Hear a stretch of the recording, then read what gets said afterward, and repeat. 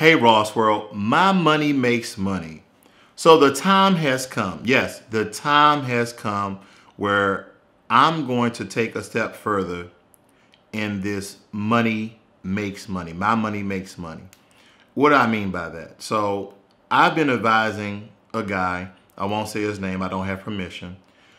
He emails me every once in a while and I give him advice what he should do with his money because of, you know, I, I know a few things.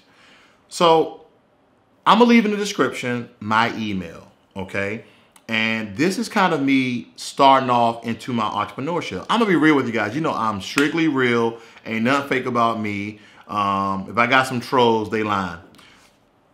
I'm gonna quite frankly start giving out financial advice professionally. And I'm not charging a lot of money because right now I only take donations, okay? And that's just to basically upkeep my camera equipment because you saw them last damn videos. The sound was off. I was using my cell phone because I only have one good camera. Excuse me. But um, I think I should. And I, and I know some of you guys, you may want to pay for some, you know, really good advice about what you should do. But uh, let me put a disclaimer out there.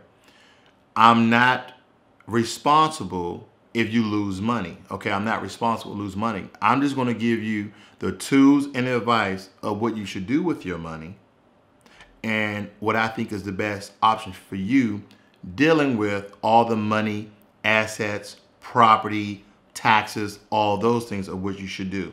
Just like any financial advisor would do, okay?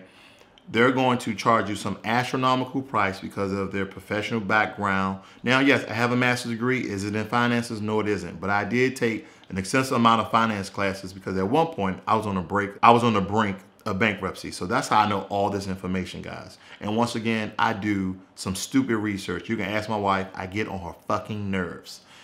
So I'm going to put it out there. I'm going to leave my email in the description and it's up to you. And and depending on the situation, depending on the nature of the question, I'm going to tell you right now, I'm going to charge either $1, $5. That's it. $1 or $5. No in between. Depending on the nature. If it's a simple question, it's going to be a buck. If it's uh, a couple of questions, it's $5. But I promise you, you went to a financial advisor, you were paying hundreds of dollars for the advice and the information that I'm going to give you. And I'm going to be real with you again. I think I'm too damn real sometimes. A lot of the information that you're getting asking that question, you probably already got it on this channel. You probably get it on this channel because I don't hold back. Because my first number one goal is not to fill my pockets with your money, it's to fill your pockets with more your money. So that's the realism in my speech. That's the realism in my talk. Now, as I get a little more platform, a little more well-based, then that information won't change. But nevertheless, my, my platform will be bigger and maybe I'll have more people ask me questions. So this is Ross World where I'm gonna try to branch off into entrepreneurship. And I told you about this early on and now I'm getting the gusto to do it. So in the words of uh, any words of any guy trying to make it, help a brother out. I'm out.